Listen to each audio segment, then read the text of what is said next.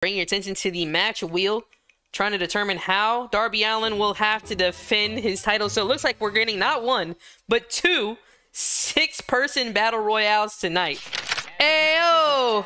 It's your boy, Mr. Faith. I'd like to welcome you back to WWE How It Should Be, episode 24 of the second season, and we have a good one here for you tonight. Of course, I mean, the talented tag teams that are the Alpha Academy and the Diamond Mine will be going at it, and of course, Darby Allin will be defending his Intercontinental Championship, and we still have to go to the match to determine how and who he's going to defend that against. But the main event for tonight, the real reason that this is going to be a good show is because we have a six-woman battle royale to determine the number one contender and who is going to face Charlotte Flair at SummerSlam. So, you know, Charlotte basically came to me and was like, look, man, as far as I'm concerned, nobody here can touch me. Nobody here is worth giving a title shot to. Uh, let them figure it out amongst themselves. I'm not concerned with any of them. I said, all right, you're not concerned with any of them? Well, we're going to get a lot of them a shot then. And we're going to see who comes out on top. So, you know, and there's going to be lots of talent there, but uh, I, I, think we really got to focus on the match at hand. And, and that's uh, two teams who have uh, a lot of similarities, right?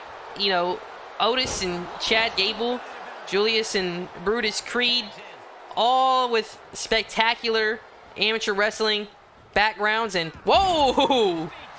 But there, there was no nothing uh, technical about that. that that was just chucking another human being. That's what that was. Oh oh! Julius maybe thought he was gonna do the same thing. Chad Gable though not gonna fall for the same thing twice. At least he hopes not. And oh!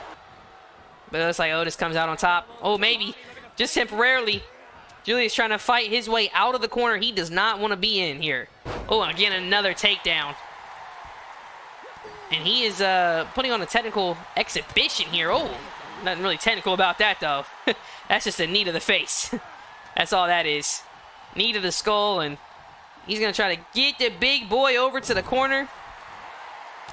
And now we're going to see some tag team action between Julius and Brutus here.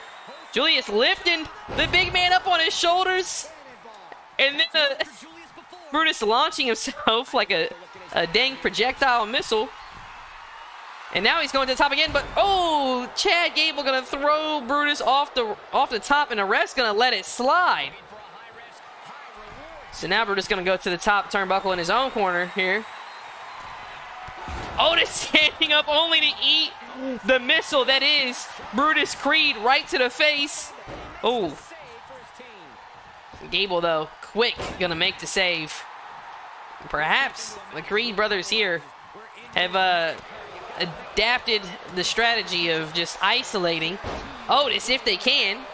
Hey, maybe take the big man out. You don't have to worry about any, uh, you know, uh, hot streaks of energy from him later. Could be a good strategy, but what do we see here? Oh! Clubbing clothesline there by Otis, and then, oh! Yeah, that'll that'll drive the wind out of you for sure. And now, oh, a takedown by Chad Gable now. Going for the cover. Rolls him nice. Julius almost late for the breakup there, but of course, uh, hey man, this match probably gonna go on for a minute. You see here, whoop. Otis rolling out of the way. Brutus, Brutus hoisting the big man up into torture rack position and throwing him over his shoulders. And Chad Gable's right there to break things up. Brutus looked like he was going to turn his attention to Gable for just a split second. He did. And Otis is able to roll him up. Almost. Almost. Catches Brutus with a nice little surprise there. Oh. I mean, bro. Displaying lots of strength and power there. Both teams, though, I will say this, doing a really good job of uh, getting nice tags in and out, trying to stay fresh, trying to keep their uh, more worn down guys on the on the apron. Hey, I think uh, whoever ooh is going to be more involved out of Gable and Julius Creed probably going to end up winning this match. As Brutus and Otis are pretty much already on their last legs here. Ooh, Gable with the moonsault though. Looks so pretty. Hooks the leg, Brutus able to kick out there. No Julius in sight. Had full faith that Brutus was going to kick out of that. But now, Chad Gable, ooh. Perhaps trying to, uh, yeah, oh, work the legs of the big man here. Isolate some of the limbs. What are we looking at here? Oh, all right, folks, some pandemonium has broken out, but we bring you back to this match where Otis is still railing from an assault by Brutus. And, Oh, uh, Julius Creed tagged in, and yikes. And immediately, it, uh, finds himself in trouble, perhaps, but gonna get the win. Hey, it wasn't the cleanest, it wasn't the prettiest, but the Creed brothers did it again. All right, folks, I didn't want you guys to have to sit through that wheel spinning five times to pick out people, but uh, here's the match, man. I mean, Kit Wilson, Keith Lee, Carmelo Hayes, Santos Escobar, and Grayson Waller are all challengers for Darby Allin's Intercontinental Championship here. And, uh, hey, we... Oh! Uh, we have ourselves a six-man Battle Royale.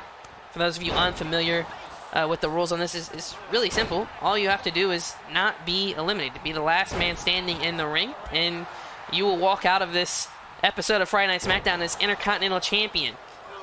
Uh, so, and, and, of course, how you eliminate people is you get them over the top rope, outside the ring, both of their feet have to touch the floor. That is how uh, an elimination occurs. So, looks like we have some pairings here. We have uh, Grayson Waller and Keith Lee there on your screen. And then, oh, uh, Kit Wilson and Darby Allin. And then we have Carmelo Hayes and Santos Escobar going at it. And really, this, this match this match could be the catalyst, right, for, for someone like Kit Wilson or Carmelo Hayes. I mean, Kit Wilson, I don't know anything about the man. Um, and to be honest, I, I don't really have much interest in him. And if he doesn't put on an impressive showing tonight, who knows how many more opportunities or how much screen time he gets in the future, right? But of course, you have someone like, you know, Grayson Waller, Carmelo Hayes, who I am aware of. I'm aware of their athleticism and, and their talent, but uh, they're just unproven right? Uh, and then, of course, you have, you know, Keith Lee. Oh! And you had Santos Escobar uh, until he just got eliminated. But you got Keith Lee, who's definitely a proven talent. He just hasn't been able to find much success on the main roster and even going to another company. Uh, I mean, his level of success, debatable. So, here we have, oh. Oh, wait, wait, wait. Darby Allin. Okay, I would say I thought he was turning his attention to Carmelo Hayes and Keith Lee there, but I guess was just trying to keep Kit Wilson from seeing the fact that he was going to hit him with a running knee while he was down in the corner. Your Darby Allin here, man, the strategy is try to lay low. Uh, keep picking on Kit Wilson here. And, oh, maybe even eliminate him. And then try to lay low. You definitely don't want the big man, Keith Lee, targeting you. And first of all, if you're anyone in this match, you, you want to eliminate Keith Lee. You want to team up and eliminate the big man. That's first and foremost. And you probably want to eliminate Darby Allin because, I mean, look at what he's been able to do, right? The stuff he's been able to do and, uh, and you know, how he's been able to defend this title has been absolutely spectacular. And, oh, I mean, dude, that's, come on, man. That's entertaining and effective. And that's what we like to see here, man. Entertaining and effective as Grayson Waller gets eliminated while he was entertaining. Not quite so much effective. But now we have, oh, Carmelo Hayes. That was a DDT, bro. That was a DDT. Okay. Carmelo Hayes, this could be a redemption match for him. I mean, uh, wow a powerful clothesline, and now it's Carmelo Hayes just waiting for Darby Allin. Maybe waiting too long. Maybe, maybe this is a redemption match for Carmelo Hayes. Just a couple weeks ago, ooh, being the second man in a small gauntlet match. Uh, the second man that, you know, Darby Allin and Cedric Alexander, they put on a long, ruling match. Carmelo Hayes had one job, and that was to show up and pick the carcass of whoever won apart and he couldn't do it. Darby Allin wins. Darby Allin retains two times in one night. It was actually epic for Darby Allin. Kind of embarrassing for Carmelo Hayes. And uh, uh, you know, hey, an elimination of Darby Allin, winning the title. Uh, if you eliminate, think about this. There's five opponents, right? There's six people. So there's five opponents. If you eliminate three out of the five of your opponents in, in a match, uh, you know, that's no one can say you don't deserve it, right? But especially if you eliminate the current defending reigning champ. I mean, and he's taking it to him, man. He's controlling the pace here. And looks like he's looking for another clothesline like he had on Keith Lee. Oh, oh, oh maybe this this time just tossing him up, just hoisting him over here. Oh, oh, gets him over. Oh, Darby Allin trying to hold on, trying to hang on. Carmelo Hayes trying to use that leverage to kick him out. Oh, some nice elbows to the shin though by Darby Allin and oh, oh. I thought we were gonna see a Spanish fly, but no, that that was just straight to the point, huh? And this is what you don't want if you're Carmelo Hayes. You don't want Darby Allin getting a head full of steam. Woo! Whoa, what just happened? That was weird. That was a weird little sequence there. Uh-oh. Oh, what is go... How... That's not how physics works. All right. But I guess it, whatever it is, it's working to the favor of Carmelo Hayes here tonight. Oh, Nice little Falcon arrow there by Carmelo Hayes. And looks like he's got Darby Allin right where he wants him. Oh! Super kicks him out of the ring! Whoa! Well, from one Battle Royale to another. uh, and, and, strangely enough, Battle Royal probably isn't even the theme of tonight. Uh, revenge match might be, or redemption match might be.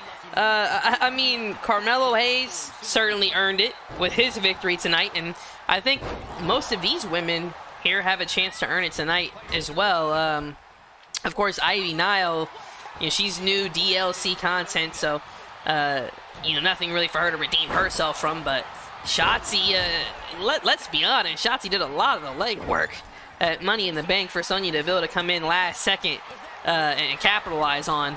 So you know, no doubt she's feeling slighted. And of course, Mandy Rose, uh, it, you know, with her Money to Make qualifying match, was so close, truly, to beating Bayley.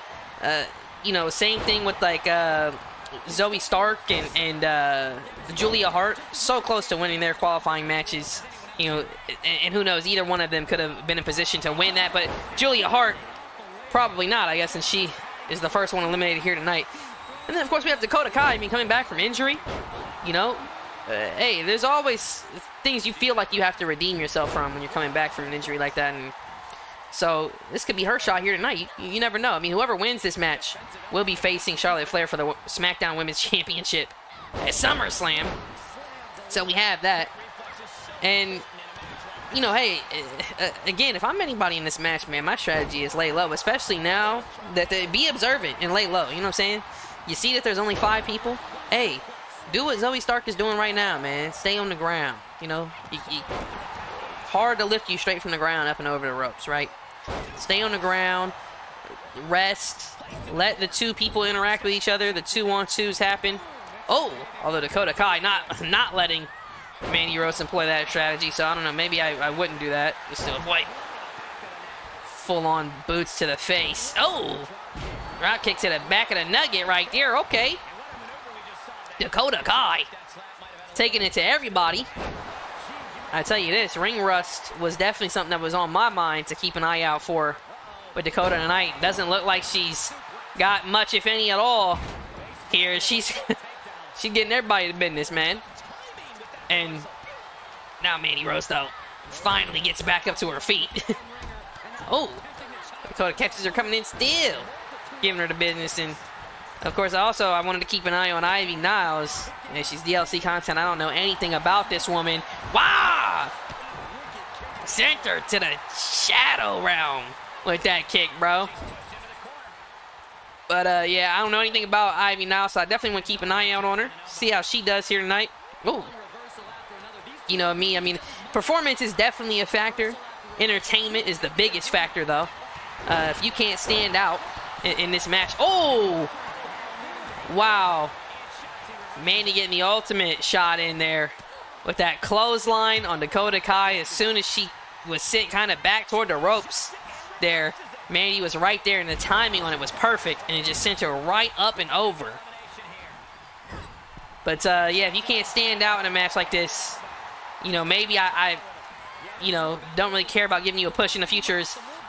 You know, some people have already proven that they can be entertaining, like Zoey Stark. You know, the heart that she displays, or like Julia Hart, who's got clearly no breaks and throws all caution in the wind, and is why she was eliminated here tonight. Um, you know, so, even though sometimes it works against them, it's still fun to watch, and that's that's what I'm trying to put on here. But uh, right now, though, watching Ivy now eliminate Mandy Rose. Oh, hey, that's. I will tell you this. like I said, performance is a factor as well. Right now, she's definitely performing. Oh, starting to show. Oh, a little. Oh, oh ate that boot or maybe dodged it, I don't know, by falling back and then kipping back up. Either way, that's toughness. That's grittiness. And I like it. Yo, who wants to win here, bro? That's the question.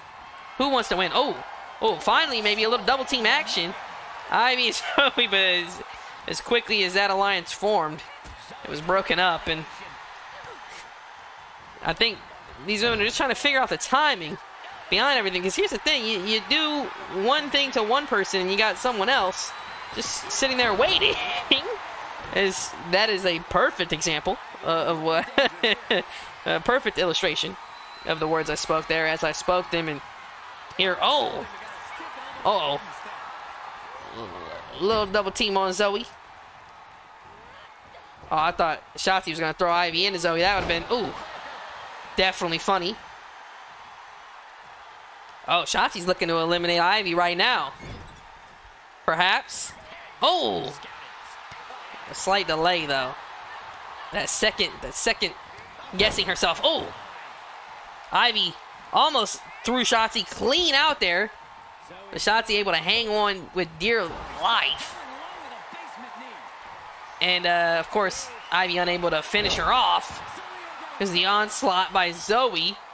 See there, though, the Salida del Sol by Shotzi and maybe looking for a sliced bread here. Oh, nope, nope. Just looking to eliminate Zoey. Clean. Uh oh, she's got to turn over. You got to use that leverage. Oh, she couldn't do it, but oh! Zoey showed a lot of heart here tonight. It just wasn't enough to get the job done, and unfortunately, that's that's been a theme for her lately. But I mean, I'll dude, she's she's still looking. I mean, we're deep in this match, and she's still looking fresh and charged up, and she could be debuting and finding herself as number one contender as she eliminates Shotzi with amazing power in her debut, solidifying herself as number one contender. She will be facing Charlotte Flair at SummerSlam, and you can see the emotion coming to her eyes. What a main roster call up, huh? Well, there you have it. Uh, talk about a crazy week. I mean, between Monday Night Raw and this episode of Friday Night SmackDown, we crowned two new champions. We've determined two new uh, number one contenders or, or, matches that will be happening at SummerSlam with the women's title. So, uh, lots of drama, lots of excitement, lots of amazing news. And hey, the only way you can avoid not missing out on any of this in the future is by hitting that subscribe button by turning on the notifications because you know one it helps me out and then also two it helps you you know stay on track stay up to date all right but hey that's gonna do it for us man get out of here go have fun i'll see y'all in the next one peace